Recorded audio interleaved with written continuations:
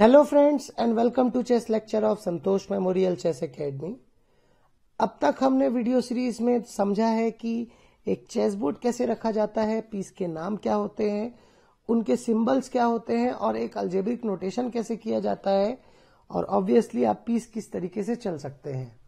हम इस वीडियो में ये समझेंगे कि एक चेस का गेम खत्म कैसे होता है। हमारे खेल का उद्देश्य होता है अपोनेंट के राजा को बंदी बनाना। राजा एक स्पेशल केस है जो चेस बोर्ड में कभी मर नहीं सकता, वो उसे सिर्फ़ आप चेकमेट कर सकते हैं। तो चेकमेट का मतलब होता है एक ऐसी स्थिति जिसमें राजा को अटैक पड़ा हो और उस केस पर राजा कहीं भी भाग नहीं सकता। जो अटैक पड़ता है राजा को, उसे चेस में कहा जाता है चेक जैसे आप इस पोजीशन पर देख सकते हैं, राजा को बिशप का अटैक पड़ा है। ऑब्वियसली देखिए, इस डायगोनल से राजा के इवन वाला स्क्वायर पर अटैक हो रहा है।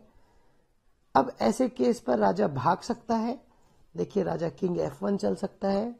तो इस केस पे आप बोलेंगे बिशप से राजा को चेक पड़ा है।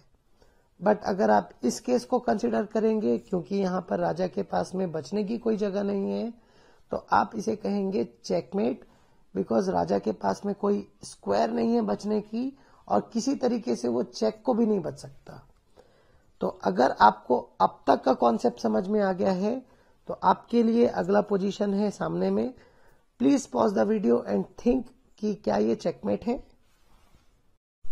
If you have guessed it right हाँ ये चेकमेट है बिकॉज़ अब देखिए आप राजा को चेक भी पड़ा हुआ है और राजा के पास चलने के लिए कोई भी लीगल स्क्वायर्स नहीं है तो ऑब्वियसली आप बाकी सारे स्क्वायर्स पर नहीं जा सकते।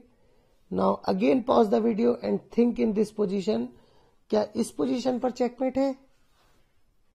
So if you have guessed it right ये चेकमेट नहीं है।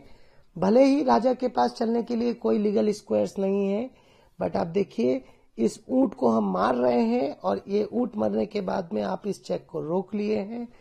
कुछ इसी वजह से ये एक चेकमेट नहीं है बिकॉज़ आपने चेक को बच लिया बाय एनी मीन्स तो आपको ये जानना बहुत ज़रूरी है कि एक चेकमेट हम उसी स्थिति को कहते हैं जब राजा को चेक पड़ा हो और राजा के पास चलने की कोई जगह ना हो लीगल स्क्वायर्स, साथ ही साथ किसी तरीके से आप अगर उस चेक को भी ना बच सके हो, ऐसी स्थिति को हम चेकमेट कहते हैं।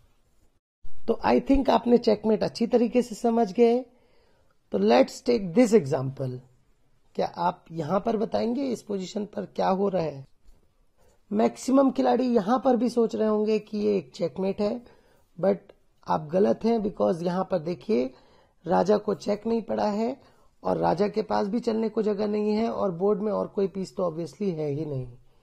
तो ऐसी स्थिति में क्योंकि चेकमेट नहीं पड़ा है और एक खिलाड़ी अपनी चाल नहीं चल सकता तो ऐसी स्थिति को कहा जाता है स्टेलमेट ना कि चेकमेट स्टेलमेट और चेकमेट में अगर आपको डिफरेंस पता करना हो तो आप इतना जानिए चेकमेट में एक खिलाड़ी जीतता है। वहीं स्टेलमेट में गेम एंड होता है ड्रॉ में। सो so, हमने इस वीडियो में समझा कि चेक क्या होता है।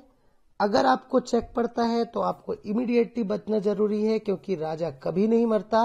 राजा अमर है बट राजा बंदी बन सकता है। अगर आप बंदी बनाने में कामयाब हैं तो आप ये चेस का गेम जीत गए आपके अपोनेंट से। अगर आप राजा को चेक दे नहीं पाते हैं और अपोनेंट कुछ भी चाल नहीं चल सकता तो उस स्थिति को हम बोलते हैं स्टेलमेट जो कि गेम एंड होता है ड्रॉ में। आई होप आपको अच्छे से कॉन्सेप्ट ये समझ में आया होगा। Thank you guys and have a nice day